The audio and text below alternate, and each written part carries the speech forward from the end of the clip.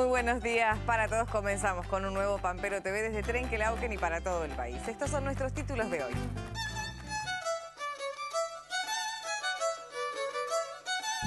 Cordero Premium. A partir de razas mejoradas, el INTA Esquel obtuvo un cordero pesado que permite obtener más carne de calidad con menor contenido de grasas. Producción hortícola. Las hortalizas se caracterizan por tener gran valor alimenticio, con vitaminas, minerales y fibras fundamentales para una dieta equilibrada.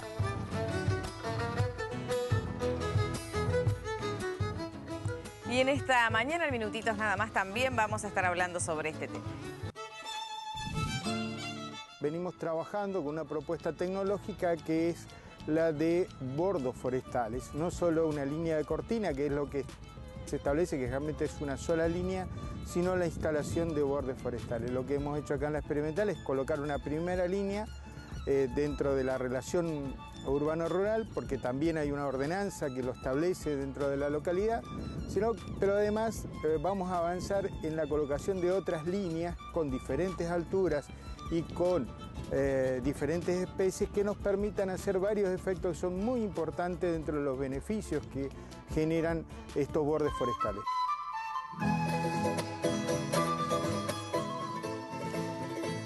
Vamos a ver qué nos dicen los datos del tiempo en esta mañana, cuál es la temperatura actual aquí en nuestra ciudad de Trenquelauquen. En este momento 12 grados 5, 4, 2 14 grados 2 décimas, con una sensación térmica de 12 grados 5 décimas, cielo algo nublado. Humedad 80%, presión 1010.5 hectopascales, viento este a 17 kilómetros por hora, con ráfagas de 34 kilómetros por hora. La máxima prevista para el día de hoy, 29 grados solamente. Como todos los miércoles vamos a continuar hablando sobre el clima y para eso estamos en comunicación telefónica con, con Natalia Gatinoni del Instituto de Clima y Agua del INTA. Natalia, muy buenos días, ¿cómo estás? Hola familia, buenos días, ¿cómo estás vos? Muy bien, muy bien. Miércoles medio jugado venimos, pero bien. Bueno, sí, tuve un problemita con la temperatura, pero no pasó nada. No nos podíamos poner de acuerdo con el clima. No, no, no. Bueno, Nati, contame vos sobre el clima ahora. ¿Cuál es el balance de la semana que pasó? Bien, mira, te cuento. Vamos a empezar con las precipitaciones. Las más abundantes de la semana se, se dieron en el sur de Santa Fe, Entre Ríos, este de Córdoba y el norte del país. Y ya que estamos cerrando el mes de febrero, eh, te cuento que durante este mes se acumularon más de 200 milímetros, en el este de Salta y Jujuy, eh, lo que es el norte del país también, Chaco, Formosa, Misiones. Y si nos vamos al centro del país, la región pampeana también, hubo zonas donde los milímetros eh, precipitados superaron los 200 milímetros, como fue Entre Ríos, norte de Buenos Aires, el este de Córdoba y el centro sur de eh, Santa Fe y también La Pampa. Eh, hubo casos puntuales también como las eh, ciudades de Córdoba y Rosario que registraron eh, valores acumulados superiores a los 300 milímetros eh, en dichos puntos y en cuanto a las temperaturas te cuento que este mes se cierra con valores que han sido bastante cálidos y ahora se declaraba la ciudad de Buenos Aires también como un punto donde febrero ha sido el, mes más cálido en cuanto a toda la serie de, de datos que se tiene de registro en esta ciudad también. Mucho calor, es cierto, Natalia. Calor para la ciudad de Buenos Aires. Mucho. Eh, ¿Cómo están los cultivos de verano? ¿Cómo se encuentran los cultivos de verano? Mira, con respecto a este panorama que yo te contaba de las precipitaciones, debido a estas importantes lluvias que hemos tenido, las reservas de aguas para los cultivos de, verano en general entonces han resultado adecuadas, a, óptimas también.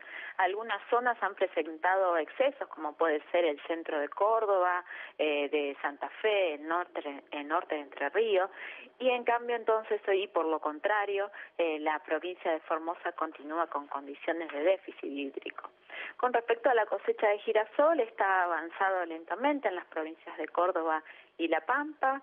Eh, el maíz en Buenos Aires continúa eh, y disculpa, Eh, se encuentra en su mayoría en cenado de granos y en general en un buen estado. En Córdoba y Santa Fe algunas localidades han registrado excesos que pudieron entonces perjudicar a este cultivo y en otras se dieron condiciones de déficit.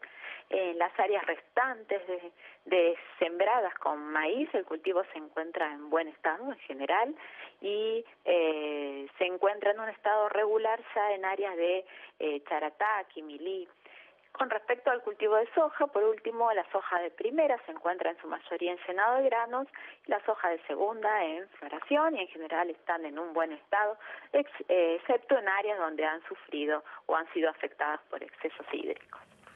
Bien, Nati, por último, contanos qué va a pasar en los próximos días en cuanto al pronóstico. ¿Vuelven las altas temperaturas o ya nos vamos arrimando al otoño? Exacto, yo creo que más que nada se está despidiendo este febrero y nos empieza a dar eh, condiciones como para que nos vayamos acostumbrando al próximo otoño y tenemos entonces, mira, para el día de hoy las lluvias van a extenderse sobre el centro y norte eh, patagónico, con tormentas aisladas que van a venir acompañadas con viento del sector norte.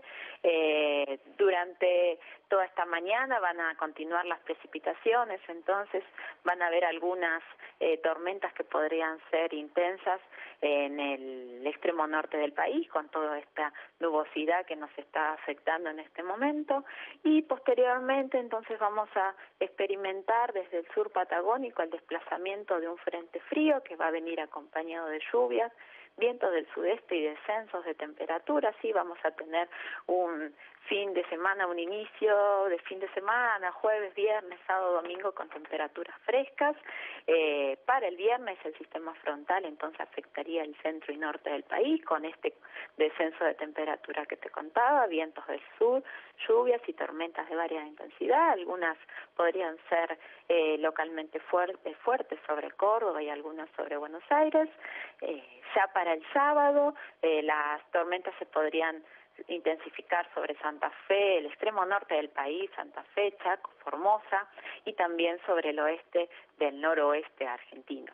Y para el domingo va, eh, va a permanecer el tiempo inestable con eh, temperaturas agradables y eh, vientos del sudoeste. Bien, bueno. Como decíamos recién entonces, Natalia, ya a menos 20 días del comienzo del otoño nos vamos como de a poquitito arrimando a estas, a estas temperaturas y a este clima que ya también es, es propenso y propicio para esta época del año. Es lo más habitual. Exactamente, sí, sí, sí, nos vamos tirando así pulsos eh, de, otoñales. bueno, muchas gracias Nati, como siempre, por toda esta información y estamos con una nueva comunicación el miércoles próximo. El miércoles próximo nos volvemos a encontrar. Eh, buenos días para ustedes. Bueno, una buena semana para ustedes allí. Un beso grande. Gracias, besos. Chao, chao. Pasamos ahora a los últimos valores disponibles en el mercado de Liniers. Vamos a ver, entraron 8.455 bovinos. El valor índice del novillo para arrendamiento es de 24 pesos con 177 milésimas. Novillos de consumo de 18 a 28 pesos con 50 centavos el kilo. Pesados de 18,50 a 25,30. Regulares de 20 a 25,50. Overos negros de 18 a 26 pesos el kilo. En el consumo definido, estos son los precios corrientes, novillitos de 20 a 30 pesos con 70 centavos el kilo, vaquillones de 14 a 28 con 30, terneros de 20 a 32 pesos el kilo, vacas buenas de 10 a 25 pesos el kilo, vacas conserva buena de 9 a 16 con 70, toros buenos de 14 a 22 con 50. En el día de hoy ingresaron al mercado de Liniers 7.418 bovinos que fueron trasladados en 207 camiones. En nuestro país la carne ovina es un producto cuyo consumo es estacional, sobre todo en la época de las fiestas de fin de año. El INTA Esquel obtuvo un cordero pesado a partir de razas mejoradas que permite obtener más carne de calidad con menor contenido de grasas y que está disponible durante todo el año. Estamos en la unidad de producción ovina intensiva del campo experimental de INTA Treverin. En la actualidad estamos trabajando sobre el mejoramiento de dos razas carniceras ovinas. Una raza que estamos trabajando hace años es la Texel, Eh, la Texel es una raza carnicera que produce mucha carne eh, con bajo contenido de grasa y la otra raza que estamos trabajando es la Poldorce. Por otro lado, eh, la unidad ovina ofrece carneros mejorados genéticamente a través de índice de selección o de selección de animales por medidas objetivas. Una de las cosas que permiten estas razas es producir corderos pesados. el cordero pesado es un cordero que no haya cortado los dos dientes, que no tenga un año de edad y no hay que confundirlo con el borrego. El borrego es un animal de más de eh, un año de edad. Características de la carne de uno y otro son distintas y la calidad y las posibilidades que dan también son distintas. Lo que uno está acostumbrado con otras carnes, de las presentaciones de cortes en bandejas, lo permite hacer el cordero pesado y no el cordero tradicional hecho con razas laneras. Porque este tiene mucha carne y no excesos de grasa. Otra posibilidad que da el cordero pesado es el aumento de la producción de carne por oveja y por hectárea. ¿Por qué por oveja? Pues con cinco meses de gestación que tiene una oveja, producir un cordero tradicional es producir entre 8 y 12 kilos a lo sumo de carne. En cambio, producir un cordero pesado con un par de meses más de crianza permite producir, como les decía, entre 14 y 20 kilos de carne, lo que es mucho más por oveja. Y también es más producción de carne eh, por hectárea porque básicamente la mayoría de la alimentación la saca de la leche materna. Eh, la otra posibilidad que brinda el cordero pesado es desestacionalizar la producción. ¿Y qué es esto? Es no tener solamente, como tenemos por costumbre, el cordero para el Día de la Madre o el cordero para las fiestas, ¿sí? Porque uno puede producir en distintas épocas del año y eh, desde empezar con corderos el mínimo de pesado de 14, 15 kilos por ahí en noviembre o diciembre, hasta llegar a corderos de 20 kilos en otoño eh, con la misma aparición. O con un poquito más tardías, alargar más, incluso tener para el invierno.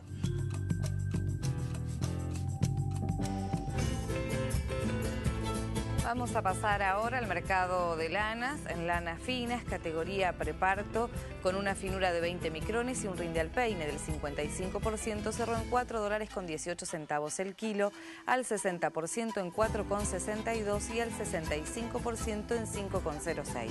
En la categoría posparto, con la misma finura y un rinde al peine del 55%, cerró en 3,94 y al 60% en 4,30.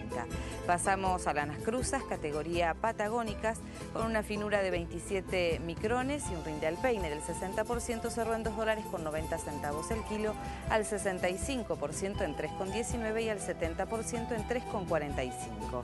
En la misma categoría, con una finura de 32 micrones al 60% en 1,82, al 65% en 2,01 y al 70% en 2,18.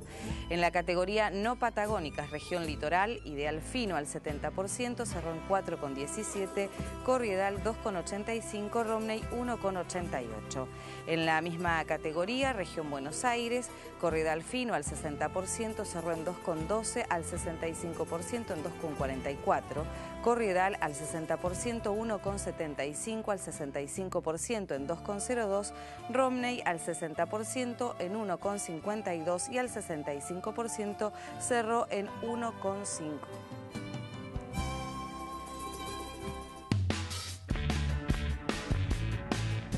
Las primeras tareas de cosecha de maíz que se concentraron en las zonas del centro norte de Santa Fe, Corrientes y centro este de Entre Ríos registraron rendimientos que superan las expectativas iniciales, según el último informe de la Bolsa de Cereales de Buenos Aires. La entidad mantuvo su proyección de producción en 25 millones de toneladas sobre una superficie de siembra de 3,3 millones de hectáreas, un 9% por debajo en comparación a la campaña 2014-2015. Durante 2015, el SENASA inspeccionó más de 18.000 vehículos en rutas entrerrianas. En los controles se verificó el cumplimiento de las normativas vigentes en materia de sanidad animal, protección vegetal e inocuidad y calidad agroalimentaria, con la finalidad de resguardar la salud de los consumidores, salvaguardar la sanidad animal y vegetal y proteger a los productores responsables y el ambiente.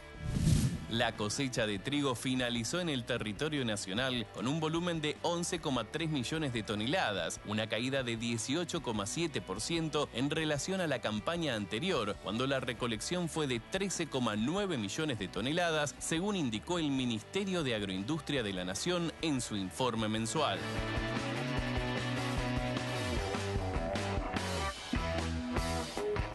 Pasamos a otro tema ahora y vamos a hablar del programa de plan de compras en cuotas porque la Cámara Argentina de la Mediana Empresa le solicitó al Gobierno Nacional la prórroga por seis meses del plan Ahora 12, cuya vigencia fue extendida hasta el 31 de marzo. Según la CAM, el plan significa un muy claro instrumento exitoso a la hora de promover el consumo e incentivar las ventas.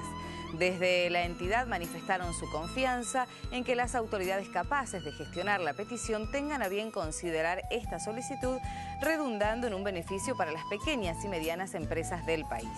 La resolución conjunta 1-2015 de los Ministerios de Producción y Hacienda y Finanzas, que da continuidad al programa hasta el 31 de marzo de 2016, estuvo rubricada por la firma de Cabrera y del titular de Hacienda y Finanzas, Alfonso de Pratgay. El programa tendrá vigencia hasta el 31 de marzo de 2016, siendo su plazo prorrogable.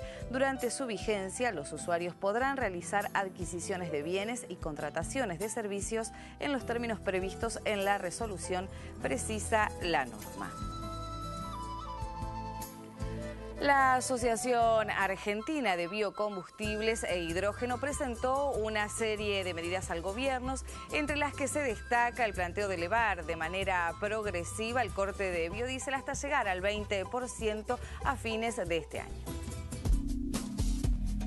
La Asociación Argentina de Biocombustibles e Hidrógeno presentó una serie de medidas al gobierno que apuntan a lograr una mayor integración de los biocombustibles en la matriz energética, entre ellas elevar de manera escalonada el corte del biodiesel hasta el 20% a fin de 2016. La iniciativa se sustenta en que Argentina tiene plantas de biodiesel que en total pueden elaborar 4,6 millones de toneladas por año, mientras que en 2015 la industria solo produjo 1,8 millones, lo que representa un 40% de las posibilidades operativas. La Asociación de Biocombustibles planteó elevar durante los meses de abril y mayo la mezcla con diésel al 12%, en junio de 2016 y hasta septiembre al 15% y a partir de octubre al 20%. Además, solicitó al Ministerio de Energía de la Nación la eliminación del régimen de retenciones móviles establecido por el decreto 1719-12 la fijación de los derechos de exportación del biodiesel en 0% y la extensión de los plazos de permisos de embarque a 180 días. La entidad también solicitó crear un registro de contratos al momento de concreción de ventas de biodiesel al exterior, de manera tal que se pueda fijar la alícuota de derechos de exportación y la base imponible en base al precio establecido en el contrato de compra-venta internacional al momento de registrar ese contrato. Asimismo, sugiere revisar y establecer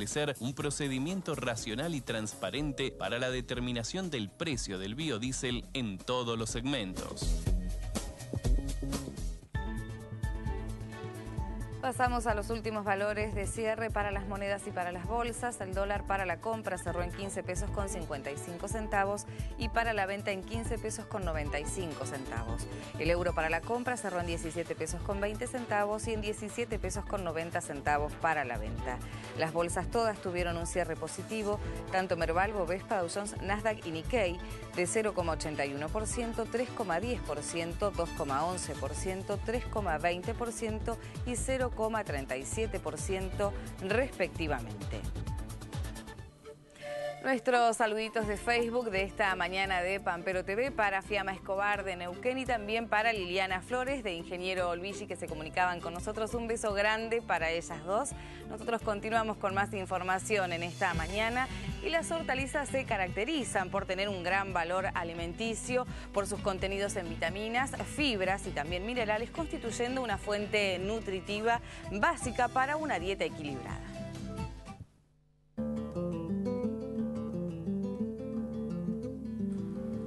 Las hortalizas se caracterizan por tener gran valor alimenticio por sus contenidos en vitaminas, minerales y fibras, constituyendo una fuente nutritiva básica para una dieta diaria equilibrada.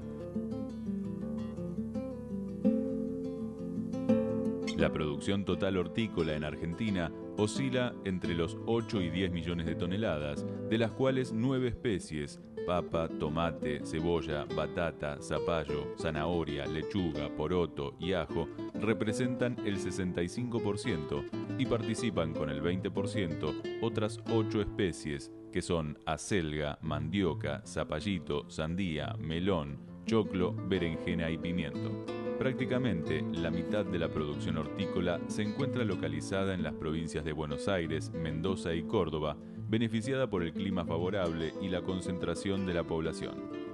En función de las altas temperaturas, es recomendable cosechar al atardecer. Los productos cosechados nunca deben quedar expuestos al sol, ya que las elevadas temperaturas y la deshidratación son las causas principales de deterioro.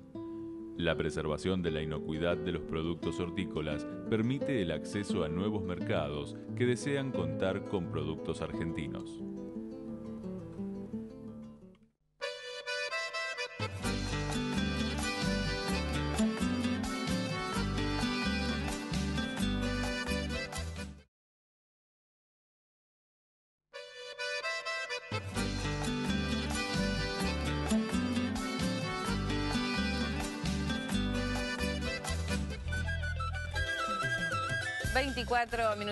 Pasaron ya de las 7 de la mañana en nuestro país y nosotros también seguimos viajando por nuestro país. Vamos ahora hasta la provincia de Santa Fe porque allí un 80% de las 363 localidades tienen ordenanzas para la aplicación de fitosanitarios y si bien casi todas establecen la instalación de cortinas forestales, solo un 19% plantea además una zona de amortiguamiento. Los bordos forestales, algo que mencionábamos antes de irnos a la pausa, permitirían no solo mitigar efectos de polución y deriva, sino también hacer un uso provechoso con producción de madera y frutas.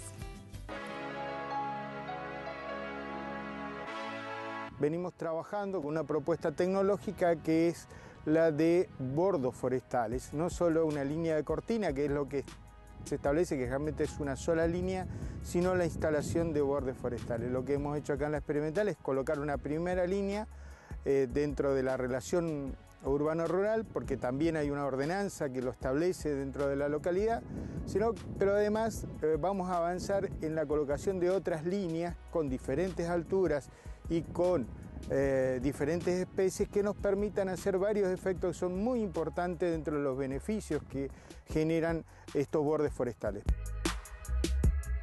Por un lado, el efecto posible de mitigación de efecto de deriva, es decir, de alguna manera va a servir como una barrera, última barrera, que va de alguna manera a beneficiar el tema a través de el efecto importante que hacen los bordes forestales de frenar la influencia de los vientos y generar una deriva, eh, de esos vientos, es decir, que los vientos no impacten directamente, sino son barreras forestales que por un lado hacen que el viento se proteja del viento 20 veces la altura de la barrera, tiene que ver también con el efecto muy importante que hace de la captación de carbono, de la liberación de oxígeno, de ser un área que permite una mayor diversidad dentro del sistema que beneficia al productor y beneficia también a toda la comunidad que está cercana.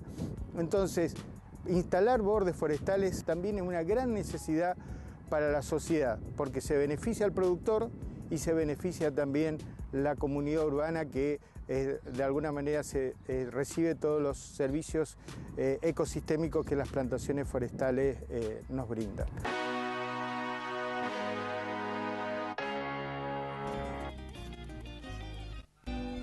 Vamos a ver ahora las últimas cotizaciones en el mercado de cereales, en los valores disponibles para la soja, 3.700 pesos la tonelada, maíz 2.300, sorgo 2.150. En los valores de pizarra para la soja en el puerto de Rosario, 3.670 pesos la tonelada, maíz en el mismo puerto 2.770 pesos la tonelada, en Bahía Blanca 2.200. Trigo en el puerto de Bahía Blanca 2.240 pesos la tonelada, en Quequén 2.000 4.228. Girasol en Rosario, 4.317 pesos la tonelada. Sorgo en el mismo puerto, 2.150 pesos la tonelada. Pasamos a los mercados futuros. Los valores de la soja cerraron en baja por sexta jornada consecutiva en el mercado de Chicago frente a las excelentes perspectivas de la cosecha sudamericana. La fortaleza del dólar fue otro factor de presión en la rueda y podría derivar en un recorte de la estimación de producción. En el mercado a término de Buenos Aires se reflejaron las bajas mínimas de la referencia externa. La posición mayo 2016 culminó en 209 dólares la tonelada con una baja de un dólar. El maíz ajustó en Chicago con leves pérdidas generalizadas a partir de las elevadas existencias globales.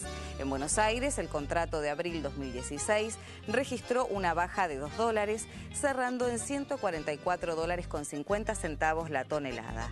Por último, el trigo fue el commodity que registró mayores pérdidas en Kansas, llegando a un mínimo de seis años, con ventas generadas por la firme evolución de los cultivos de invierno estadounidenses. La fortaleza del dólar también ejerció presión sobre las cotizaciones del cereal. En el mercado porteño los valores cerraron de forma mixta, con una baja mínima en la posición de marzo que culminó en 139 dólares la tonelada.